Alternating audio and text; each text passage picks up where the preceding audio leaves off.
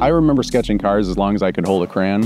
Uh, I have always dreamed of being a car designer. I, funny enough, don't really consider myself an artist. I, I think that art is the tool that a designer uses to convey his message, to bring thought and feeling to a design. I got to be an intern and I worked on some Ram production stuff. And then for Dodge, I did an interior theme for a sports car. The Halcyon has been a dream come true. That's really the beauty of working here at Stellantis is that I was a seat designer and when projects like this come up, it's open to the whole studio. And really it just opened a whole bunch of doors and just became a, you know, project of a lifetime.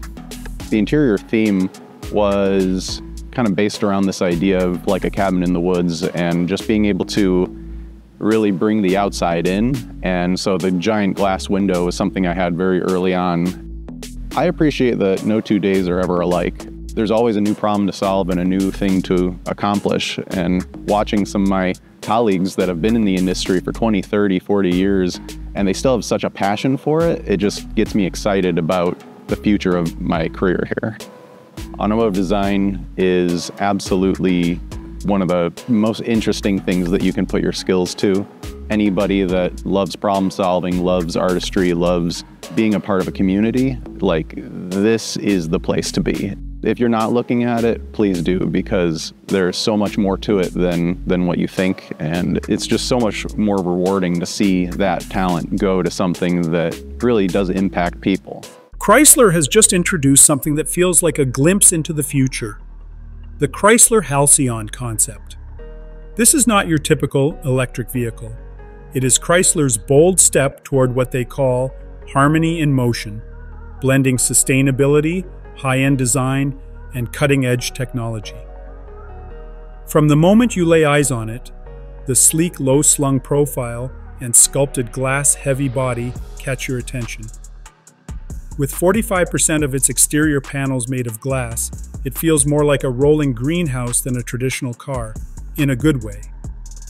Getting in and out is surprisingly effortless thanks to rear hinged rear doors and flip up roof panels. The cabin itself is a peaceful sanctuary using sustainable materials like microsuede made from 73% recycled plastic bottles. Chrysler even reused old CDs to create reflective logos. The result is a quiet, modern interior that is both green and futuristic. It also brings back the smart stow and go system, but now the rear seats can retract completely into the trunk space, giving you more room when needed. Technology is at the heart of the Halcyon.